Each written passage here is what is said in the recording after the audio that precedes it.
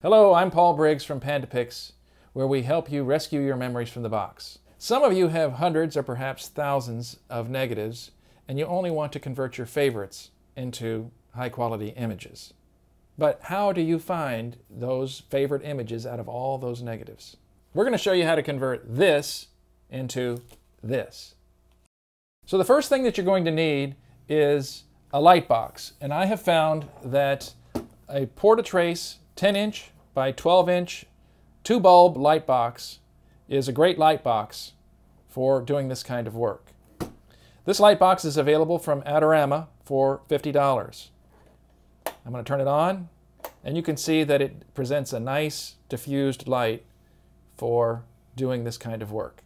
So the next thing you're going to need are archival sheets and you can also get archival sheets from Adorama at a reasonable price. Uh, the print file uh, archival sheets are pretty handy and, and they have varying amounts that, of negatives that you can hold in their archival sheets.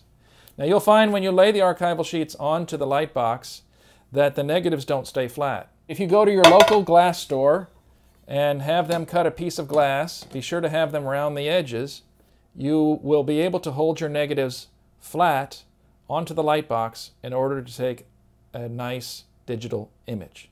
Using a digital camera gives you better results than a smartphone when taking these pictures.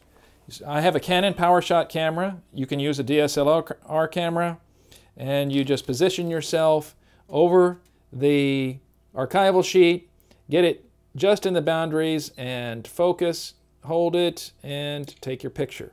Now comes the fun part, to convert your digital images to positives. We're going to be using a program called VueScan, which is normally used to control scanners.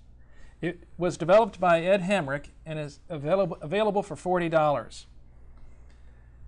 We're going to navigate to the File selection and open up to where we have our camera JPEG file stored.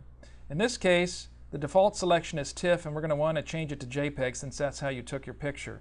Go ahead and select one of your contact sheets now I've already set the crop and color and output settings to what I want and VueScan remembers that.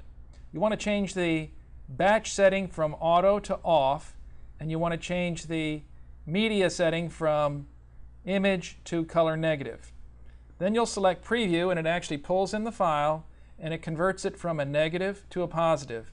And since I've already cropped it the way I wanted, then it will give the proper boundary, and it looks like a fairly decent positive, and I'm going to go ahead and scan it, and it will store the file in the designated location that I've set in the output folder. Now after it saves the file, I can select another one using the file selection, and I'm going to go ahead and do that. I'm going to select another file and select open and, and then preview to actually pull the file in.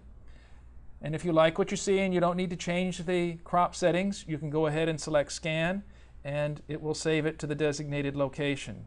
Now you can see that this process will allow you to very quickly go through those digital contact sheet negatives that you took with your camera and process them into positives so that you can go through your hundreds or thousands of negatives. Once you've obtained the equipment and software, making digital contact sheets is a snap.